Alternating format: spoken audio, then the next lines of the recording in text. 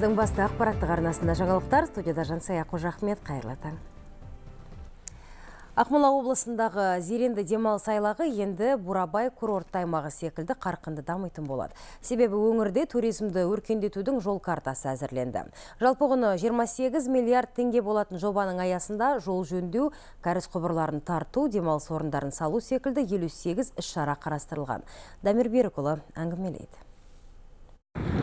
Зеренді Бурабай секілді аты әлемге әйгілі болмаса да табиғаты көркем, тынығуға жайлы, жанында көлі мен тауы бар шағын ғана демалыс аймағы. Қазір мұнда 30 шақты туристік нысан бар, әрі олардың қатары жыл санап көбейіп келеді. Біз үй салдық, ағаш, ағаш үйден бәрі. 150-200 кісі біз готовы принимать. И зимой, и летом отопление бәрі болады биыл. Кәсіпкер Ақмарал Омарова зерендіні жаны сүйеді. Айтуынша бұл жердің ауасының өзі ерекше. Тылсым табиғаты адамды өзіне еріксіз баурап алады дейді. Қазір олар жазғы маусымға қызу дайындық үстінде, ал келушілердің көңілінен шығу үшін тоғыз бірдей ағаш үй тұрғызған. Наша, конечно, задача. Біздің бар мақсат міндетіміз келушілердің ерекше демалуына жағдай жасау. Ол үшін қолдан келгеннің бәрін істейміз. Тек қана рахаттанып тынықса болды. Ал мемлекет тарапынан тиісті инфрақұрылым жасалса дейміз. Тиісті инфрақұрылым жасалады дейді салаға жауаптылар. Яғни жаңа жобаның шеңберінде Зерендінің маңайындағы жолдардың барлығы тегістеліп, кәріз жүйесі тартылады. Ең бастысы Зерендіден ары солтүстік қазақстан облысының имантау және айыртау демалыс аймақтарына қарай жаңа жол салынбақ. Ал ауыл ел бесігі деген бағдарлама бойынша біздер деген зерендаға деген бір миллиард үш жүз миллион теңге бөлеміз деп отырмыз. Республика бюджетінен бұл деген жаңағы жолдарға жаңағы инфрақұрылым зеренда осы райцентрге барады деп санаймыз. Себебі деген бір жол болса ресей жақтан енді біздер туристер екі есе деген өседі деп санап отырмыз. Жаңа жобаның ішінде тек жол жөндеу ғана емес туристерді қызықтыратын түрлі бағдарламалар да әзірленген. Нами сейчас разработаны. Біз қазір туристік бағыттар әзірлеп отырмыз. Мәселен саяхатшылар исаковка ауылдық округіне қарасты әулие бұлаққа одан әрі әулие тасқа бара алады. Үлгілі ауылының маңындағы сарқырамада келушілерді қызықтырмай қоймайды. Яғни туристер тек зерендінің өзіне ғана келіп кетпей маңайдағы барлық көрікті және киелі жерлерді аралауға мүмкіндігі бар.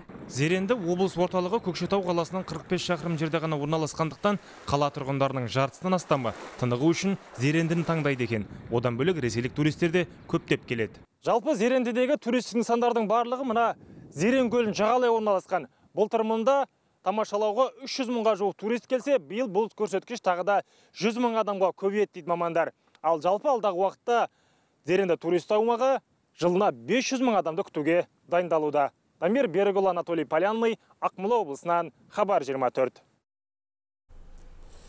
Бұлтыр 200-ден аса қазақстандық алаяқ тур компаниялардың арбауына түсіп 153 миллион теңгесінен қақылды. Шетелге шығып саяхаттауды қалайтындар тәуекелге бел буып жатқан түсіну керек. Мамандар пікірі осыған саяды. Жалпы отандастарымыз шекарасып демалуы үшін нені ескеруі тиіс. Мерей Мұратханқызы зерделеп көрді. Дамира Ғабдулина 20 жылдан бері шетелде саяхаттауды дағдыға айналдырған. Осынау хобби соңғы 10 жылда оның үлкен бизнесіне айналды.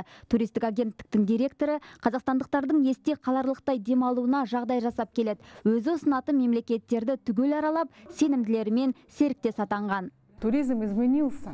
И он очень меняется с каждым годом. И даже туристы изменились. Туризмде туристерде жыл сайын өзгеріп келеді. Бұрындары маусым деп жаз бен айтса, қазір жыл бойы саяхаттаушылардың қатары үзілмейді. Олар жан жақты. Мен барлығына сенімді оператормен жұмыс істеуге кеңес берем. Құжатыңызды тексеріп алыңыз. Виза мен екпенің қажеттілігін анықтап алу керек. Таңдаған мемлекетіңіздің мәдениеті, киім кешегі өзін өзі ұстау ерекшеліктерін екшеп алған ләзім. Клиенттері Дамираны Инстаграм арқылы табады. Оқырмандары оның қызықты саяхаттарынан хабардар. Көз тартар суреттерден шабыт алғандары шетелде демалуға ниет білдіріп жатады. Сұраныс әртүрлі. Ивент туризмге қызығатындар да көп екен. Все более и более набирает обороты путешествия в Африку. Африкаға саяхат жасаушылар көбейіп келеді. Оңтүстік Африка Республикасы Кенияға, Конгоға балаларын алып барады. Арнайы шараларды тамашалауға аттанып жатады. Ақышты сұрайтындар да көбейді. Тіпті Антарктидаға да қызығушылықтары туған. Жапонияға тікелей рейстер ашылайын деп жатыр ғой. Халықтың оны асыға күтетінін білемін.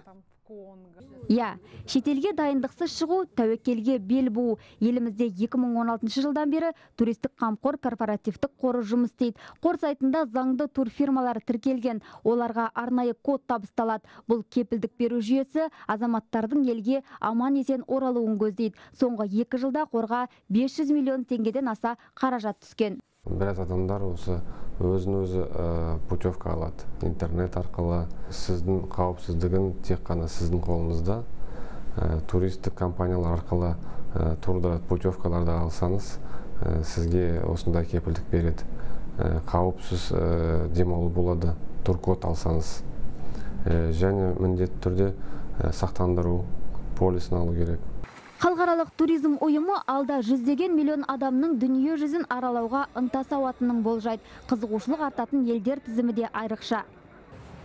Шетелге барып демалу бұрындары қиял болып көрінетін. Қазір әлемнің есігі әрбірімізге ашық. Бастысы салықтан берешегіңіз болмасын. Оны тексеру үшін egov.kz не мемлекеттік кірістер комитетінің сайтына жеке сәйкестендіру нөміріңізді тіркеу арқылы тексере аласыз. Менің қарызым жоқ, демек алаңсыз жолға жинала беруіме болады. Айтпақшы, арнайы код туристік қамқор қорына 0,5 айлық есептік көрсеткіш мөлшеріне жарына салған операторға беріледі. Ал банктық кепілдеме 12 миллион мен 36 миллион теңге аралығында. Оқыс жағдай болса, саяхатшыға қажет көмек қордағы қаржы арқылы өтеледі. Мерей Мұратханқызы, Марат Диханбаев, Жандос Битабаров, Ержан Рахманбердиев, Хабар 24. Еліміздің іскерлік туризм әлеуеті еуропалық туроператорлар мен кәсіпкерлерге таныстырылды. Шетелдіктерге Қазақстанның халықаралық деңгейде саммиттер мен конференциялар өткізу мүмкіншілігі зор екен айтылды.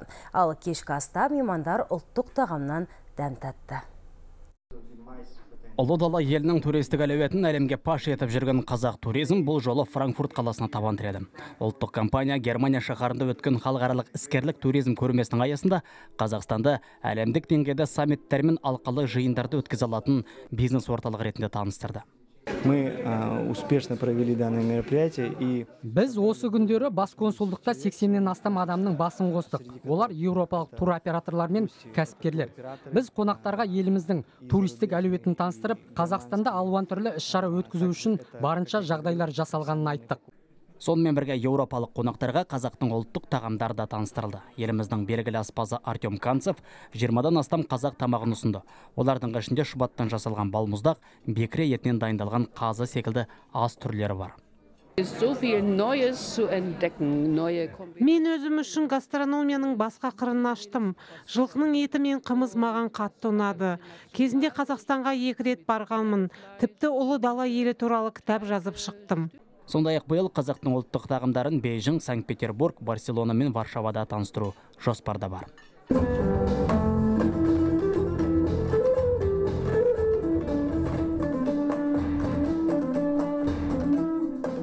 Жасын Біркенов, Шолпан Найманбаева, Милослав Лавриновский, Хабар 24, Германия. Ақштың Оклахома штатында тағы алапат құйын соғып, екі адам қайтыс болды.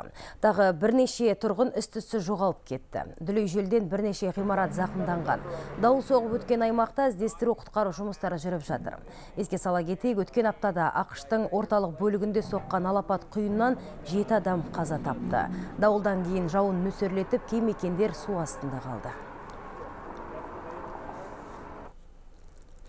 Ал Жапонияның Сидзуока префектурасында ерекше спорт түрі жастықпен ұрыстан сайыс өтті.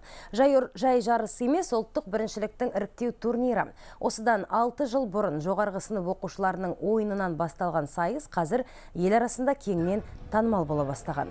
Тәртіпке сәйкес сайыскерлер ұйықтап жатқандай сыңай танытып, ысқырық естілгенде орындарынан атып тұрып, жастықпен қарсыласын шабуылдауы тиіс. Міндет командадағы патшаны қорғау. Жарысқа қатысушылар сайыс физикалық күшпен бірге ойлауды да қажет ететінін айтады. Ал бұл жолғы іріктеу ойынында Black White командасы жеңіске жетті.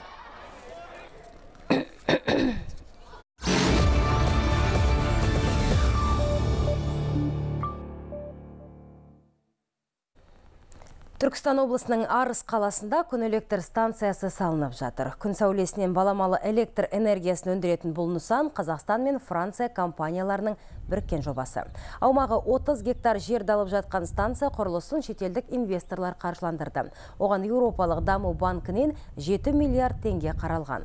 Қазір құрылыс монтаждау жұмыстары жүріп жатыр. Алдағы уақытта күн электр станциясы 14 мегаватт электр қуатын өндіретін болады. Жоба қазан айында толық іске қосылып, электр энергиясын жеткізуді бастайды.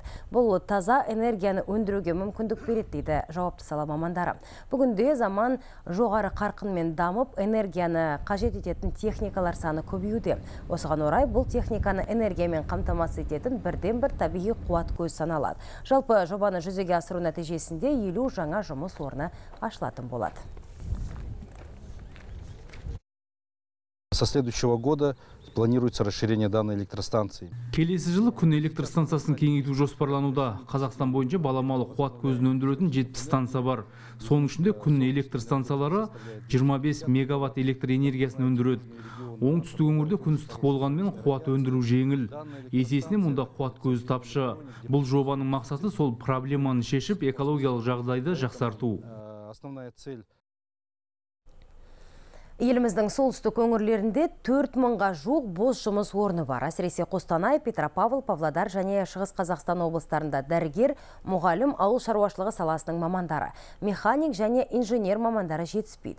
Бұл туралы Түркістан облысының Жетісай қаласында өткен өңір аралық бос жұмыс орындары жәрмеңкесінде солтүстік өңірлерден келген жұмыс берушілер мәлімдеді. Жетісай драма театрының іші халыққа лық толы. Жұрттың бәрі сахналық қойылым көруге емес бос жұмыс орындарының жәрмеңкесіне келген.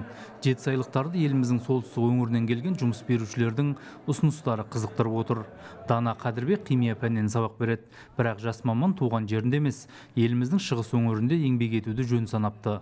Өйткені тәжірибе жинап адамдармен араласқысы келеді. Мен қазір ридермен және аягөзбен сөйлестім. Э, қай жақ хабарласады сол жаққа ыңғайласамын. Сізге сұраныс өте көп сондықтан бізге керексіз деп жатыр. Мен өте қуана қуана барамын ол жаққа. Баспанамен қамтимыз деді. Ал ербол есімді мына жігіт диқаншылықпен айналысады. Жетісайда халық көп жер аз болғандықтан даласы кең ауасы ем солтүстікке барып көкөніс екпекші. Мемлекеттің халыққа жасап отырған мұндай мүмкіндігін жіберіп алмау керек дейді. Сондықтан қостанайдан келген жұмыс берушілермен келісіп те қойған. Жетісай ауданында жер жетіспейді. Халық өте тығыз орналасқан. Бізге енді жерге ә, жетіспегеннен кейін біз шақырып жатқан ауданға бару керек. Шығыс қазақстан облысы болсын мынау ә, солтүстік болсын сол жақтағы жерді игеріп соны жыртып жетісайдағы істеген диқаншылық жасап күн көру керек жұмыс істеу керек пайдалану керек мүмкіндік беріп жатқан мүмкіндікті. Мәселен шығыс қазақстан облысынан келген делегаттар 1366 бос жұмыс орнын ұсынды оның 300 медицина 200 ауыл шаруашылығы қалған 765-і әртүрлі салалар бойынша. Келемдеушілерге әлеуметтік көмектер мен бір реттік қаржылай қолдау көрсетіледі дейді. Өткен жылы еліміздің шығысына мыңнан астам мүшесі бар 350 отбасы көшіп барған. Ал биыл мыңнан астам отбасын қабылдауға дайынбыз дейді. Мұғалімдер врачтар ауыл шаруашылығының мамандары жетіспейді. Өйткені біздің облыс өркендеп өсіп келе жатыр экономикалық деңгейі көтеріліп келе жатыр жаңа кәсіпорындар жаңа жұмыс орындарының барлығы түгел ашылып жатыр. Былтырғы жылдан бері қарай есептегенде жүз отбасы осы мына түркістан алматы жамбыл облысынан келген үй сатып алды. Ал қалалар мен аудандар және жеке кәсіпорындар өздерінің балансындағы үйлерді тегін үйлестіріп мына мамандарға беріп жатыр. Жұмыс берушілер өз кәсібін ашып егін мал шаруашылығымен айналысамын деушілерге жер телім берілетінін айтты. Бүгінге дейін түркістан облысынан солтүстік өңірлерге 3377 мүшесі бар 881 отбасы көшкен. Қазір олардың барлығы да үй жаймен қамтылып өз жұмыстарын істеп жатыр. Бұл келген азаматтар үш жарым мыңға жуық бос жұмыс орындарын бізге ұсынып отыр. Осы жәрмеңкенің өзінде қазір үш жүзге жуық отбасындағы өкілдері бар азаматтар қатысып отыр. Сонымен қоса мына серпін бағдарламасына қатысамын дейтін жас мына мектеп бітіруші түлектеріміз де қатысып отыр. Кездесу соңында делегация мүшелері тұрғындардың сауалдарына жауап беріп жастарға серпін бағдарламасы бойынша солтүстік облыстарда білім алу туралы жан жақты түсіндірді. Жәрмеңкеге қостанай павлодар және солтүстік пен шығыс қазақстан облыстарынан алпысқа жуық жұмыс беруші қатысты. Жандос жұмабек ерболат әбіш хабар жиырма төрт түркістан облысынан. Балқаш қаласынан шыққан суретші Өміргелді Әбеуов өз өнеріне жастарды баулып жүр. 80-ге тарта гобелен тоқыған шебердің туындылары облыстық тарихи өлкетану мұражайына қойылған. Ұлттық мұраны насихаттап жүрген өнер иесімен аймақтағы тілшіміз Айнұр Абдиева сұхбаттасып қайтқан болатын. Шебер жылына екі-үш туынды жасайды. Бірегей суретті кілемдерді тоқудың өз қиыншылықтары бар дейді. Ол гобелен тоқитын станокты да өз қолмен жасаған. Бұрын шешей тірі кезде жіпті қолдан иіріп беретін. Қазір дүкеннің жібін сатып алып тоқимын дейді суретші. кейде мынау жаңағы элементтерді қиын орындалатын элементтер бар біркелкі әдістері бар оның процесінде өзінің кейде кеткен қателігімді қайтадан тарқатып қайтадан тоқимын көбінесе қалдырмаймын. Кейде айтып отырмын жылына екі үш гобелендей тоқуға болады Суретшінің туындыларында ұлттық ою өрнектер көптеп кездеседі. Өзі ұнататын гобелен жылдың төрт мезгіліне арналған. Ал ең атақты суреттердің бірі Махамбет Өтемісұлының 100 жылдық мерейтойына орай ереуіл атқа ер салмай атты туындысы. Қазір шебердің бір қатар жұмыстары облыстық көрмелерде жиі кездеседі. В каждом гобелене у него есть Әр гобелен ерекше тоқылған барлық туындыларында ұлттық дәстүрдің нақыштарын кездестіруге болады. Суреттері философиялық жағынан да назарға түседі. Әр шығармашылығында қазақ ұлты мен оның тарихын көрсетуге тырысады. Суретші шебер жылына екі рет облыстық музейлерде көрмелерін өткізеді. Көктемдік көрмеге дайындаған мәңгілік дала сазы атты туындысын Астанаға жолдаған. Ал қазір күздік көрмеге қойылатын гобелендердің нобайын жасаумен айналысып жатыр. Айнұр Абдиева, Сайлау Илков, Қарағанды облысы, Хабар 24. Қазақстанның дарынды оқушылары елордада мобильдік қосымшалар құрастырып жарысты. 10 және 18 жас аралығындағы қыз балалар қоғамдағы әлеуметтік мәселелерді шешуге арналған жобаларын бүгін Technovation Challenge байқауында таныстырды. Халықаралық сайыстың аймақтық кезеңіне бас аяғы 350 бала қатысып, озықтардың ішінен 7 команда озып шықты. Олар Алматы, Ақтөбе, Тараз, Теміртау қалаларынан келген оқушылар. Енді Америка құрама штаттарындағы қазылар алқасы осы жеңімпаздардың жұмыстарының ішінен үздіктерін іріктеп алуы тиіс. Осылайша олар тамыз айында Сан-Францискода өтетін ақтық сынға жолдама алады.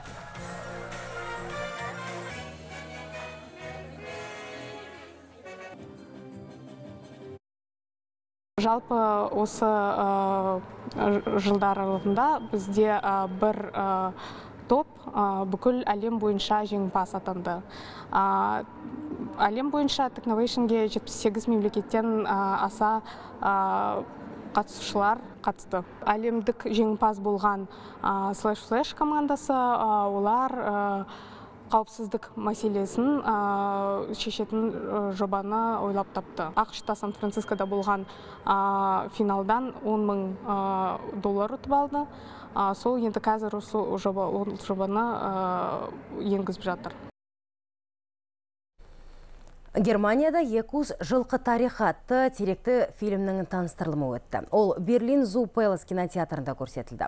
Көрермендер трилогияның екінші бөлімін тамашалады. Олар фильмнің алғашқы сәтінен бастап, ұлы далаға сапар шегіп, көшпенділердің жылқыны қай кезде және қалай қолға үйреткенін көріп білді.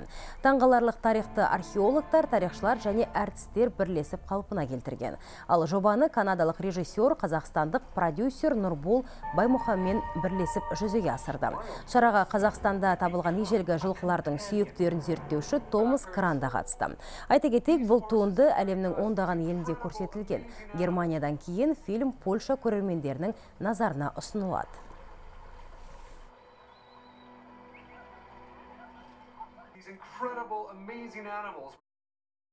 Европейский зритель на сегодняшний Қазір еуропалық көрермендер біздің елдің табиғатына қызығады, тарихын, мәдениетін танығысы келеді. Олар қазақты танығысы келеді, ұлтымыздың құндылықтарын білгісі келеді. Осы фильмді көру арқылы еуропалық саяхатшылардың саны арта түссе деген ойдамыз. Kasachstan ist sozusagen die Wiege der Menschheit. Қазақстан бұл адамзат бесігі. Еуропалық өркениет тарихы сіздің аймақпен тығыз байланысты. Себебі жылқы алғаш рет Қазақстанда қолға үйретілген. Біздің зертханада алған мәліметтеріміз әлемдік тарих үшін құнды. Мен әлі Қазақстанда болған жоқпын, бірақ міндетті түрде барсам деймін. Әзірге айтарымыз осы арнамыздан алыстамаңыздар.